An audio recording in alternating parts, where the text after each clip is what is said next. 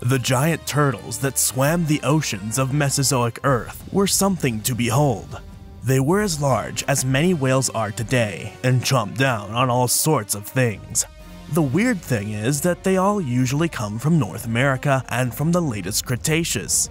A brand new one from the Pyrenees Mountains proves that they occurred all over the globe and for longer than previously thought. Meet Leviathanochelys.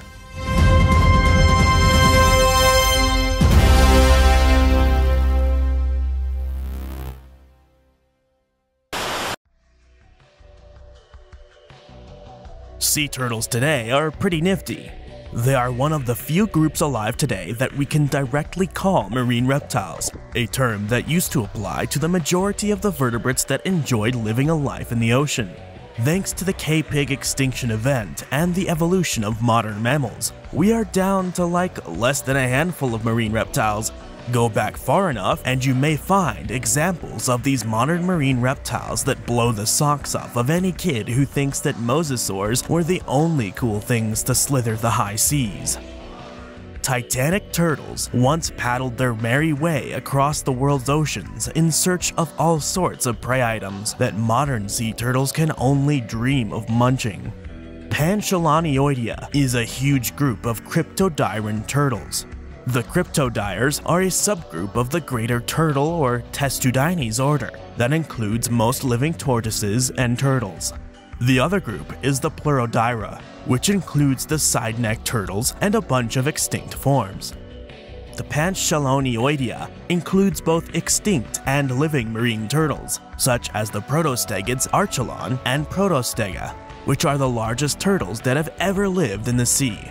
The clade is made up of animals that have strong adaptations to life in the sea. These animals' limb bones have adapted into paddle-like flippers, their heads get rid of excess salt, and their shells became less hard.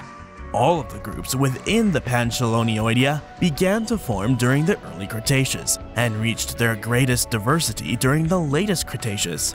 The protostegids, whose family history is unclear, diversified quickly during the early Cretaceous, spreading all over the world and becoming ecologically specialized and taxonomically diverse. However, they still went extinct at the end of the Mesozoic. It is important to note that most giant forms lived in the western interior seaway of North America during the Campanian, except for the Moroccan Ocepechelon, the Jordanian Gigantatypus, and the Protostega material from Eastern Europe. The fact that these animals are so big could be a sign of some unique habitat conditions, or the fact that predators are pushing them to get bigger. A brand new form of these giant turtles has just been described from far outside of the usual western interior seaway sediments, making it yet another outlier that may be proving a trend. In the last 20 years, much has been learned about the Campanian to Maastrichtian vertebrates from the southern Pyrenees, but this mostly only happens on land, so not much is known about the marine tetrapods that used to live in the seas around this part of the Iberian Peninsula. A relatively new locality from the Pyrenees Mountains, Cal Torrades, finally reveals the diversity of the marine fauna from the Cretaceous of this region. The Cal Torrades locality was first found in July of 2016 between the Serra de Abanc and the Serra de Carreu mountains, outcropping near the small villages of Perarura and Vaidarques in Alt Urgell County, southern Pyrenees. From a geological point of view, Cal Torrades is in the lower part of the Perles Formation, which is made up mainly of marls and marly limestones. The lower part of the Perles Formation has a lot of invertebrate macrofossils like echinoderms, sponges, and lamellibranch bivalves, and microfossils like hyaline benthonic and planktonic foraminifera. The analysis of these fossils, especially the benthonic foraminifera, shows that the new fossil site is definitely from the Middle Campanian stage of the late Cretaceous period. It was at this site, in the Pyrenees of northern Spain, that scientists uncovered the bones of a new kind of huge marine turtle, the biggest of its kind ever found in Europe. The bones were found by chance also in 2016 when a hiker was walking in the Pyrenees. Once a local museum was alerted to the find and a team was sent to excavate the fossils, which were located 20 centimeters above the sandstone base of the Cal Torrades locality and its Perles Formation, the remains were taken back to that local museum and the Catalonian Department of Culture. But no one was able to take a look at them until 2021. Researchers started digging again at the Pyrenees site and found pieces of the turtle's pelvis and shell. Even though fossils of late Cretaceous sea turtles have been found in European marine deposits, reports of large ones are very rare. Allopleuron hoffmanni is the largest late Cretaceous sea turtle in Europe. Its shell could be up to 1.5 meters long.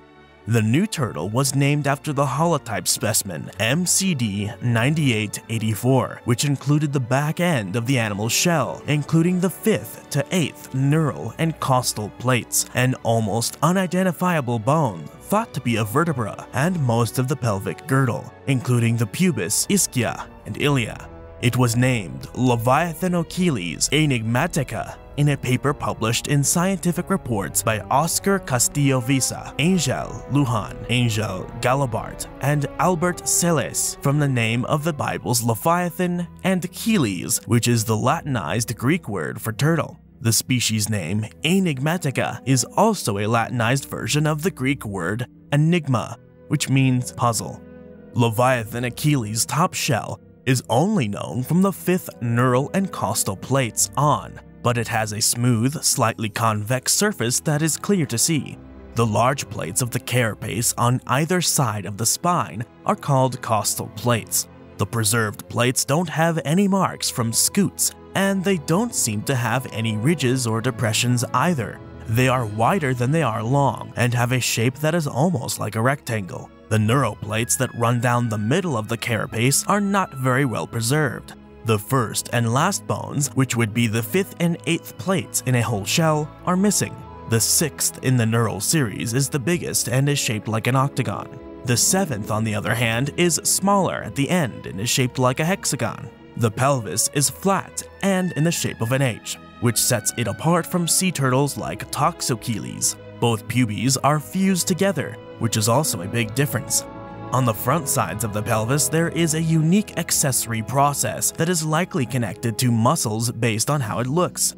This is something that only Leviathanochelys has. No other sea turtle, living or dead, has this trait. In sea turtles, the pelvis is connected to several important muscles.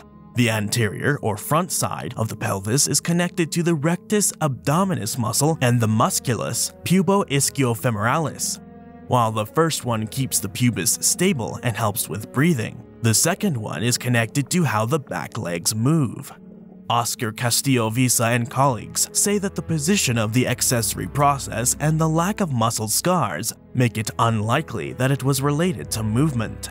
Instead, they think that it helped the animal breathe, which is funny because of the often spread fact that turtles breathe through their butts, which they do, though it is a little more complicated than that. Leviathanochelys is known for being a very big. Its pelvis alone is 88.9 centimeters, 35 inches wide, which is wider than the same bone in the giant Archelon, which is 81 centimeters and 32 inches. Also, the length of the pelvis is very long. It has a pelvic length of 39.5 centimeters, 15.6 inches, which is more than 100% longer than Protostegas at 18 centimeters or 7.1 inches and just a little shorter than Archelon's at 46 centimeters or 18 inches.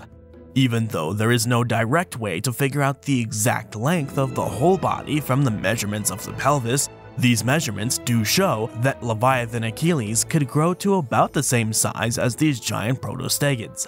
The authors suggest that the length of the whole body could be 3.75 meters, 12.3 feet. Based on the results of a phylogenetic analysis, Leviathanochelys is the most primitive member of the sea turtle superfamily Chelonioidea. It is the sister taxon of the Maastrichtian Allopleuron hoffmanni. Oscar Castillo Visa and his colleagues say that this grouping is only supported by a single shared synapomorphy, or shared trait, which is that the pelvis is not connected to the shell by a bone suture, but by ligaments. This makes things even worse because a lot of turtles are in this state. making it very plesiomorphic or containing traits shared by many different lineages. Several other characteristics, however, show that both of these taxa still belong to the Chelonioidea. The stratigraphic section of Cal Torales, in which Leviathanochelys was found, is made up of alternating gray marl and sandstone. The area is built on a 5 meter thick bar of carbonated sandstone, the top of which is the base of the studied section. It has a lot of fossils of invertebrates like well-preserved ostreids, pectinid bivalves, hexactinellid sponges, echinoderms, horizontal burrows, and bryozoans that have grown out of their bodies. On top of the sandstone layer, a nearly uniform sequence of marls was formed. Overall, the sequence of layers can be described as getting a little bit rougher as you go up. The presence of a well-developed marly sequence, which is sometimes interspersed with fine sandstone levels, probably means that the rocks were laid down in a low-energy, offshore environment. On the other hand, the presence of a thick, organism-filled sandstone bar at the bottom of the stratigraphic section suggests that the water column was not very high. The combination of geological and fossil evidence suggests a transgressive depositional sequence, a transition from a nearshore environment to an environment that is completely offshore. Even though more research needs to be done, the sedimentary sequence at Cal Torales may be one of the last transgressive pulses before the regressive sequence shown by the Upper Cretaceous Gressos de Arini Formation in the southern Pyrenees. The group of benthic macroforaminifera found in the layers above the Perles Formation suggest that the water depth was between 20 and 80 meters, this interpretation fits with the fact that there are no high-energy sedimentary structures at the outcrop, which suggests that the environment in which the sediments were laid down was at least below the level of storm influence. Since this is the case, it is most likely that the sedimentary sequence at the Cal Torales site, as well as its lateral equivalent formations, were made in a marine mid-ramp environment. Until now, scientists thought that the largest sea turtles, like Archelon and Protostega, were only found in North America during the latest Cretaceous. The discovery of the huge and strange chelonioid Leviathan Achilles enigmatica in the Middle Campanian marine deposits of the southern Pyrenees, which was about the same size as Archelon, shows how different marine turtles were, and how gigantism in these groups was also happening in Europe.